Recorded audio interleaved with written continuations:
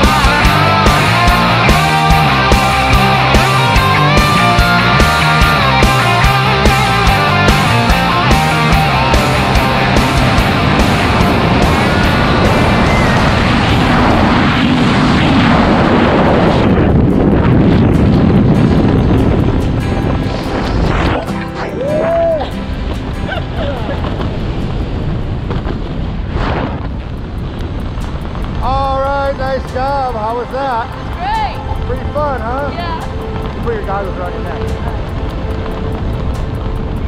Think you'd do it again? Yeah. Like roller coasters? Yeah.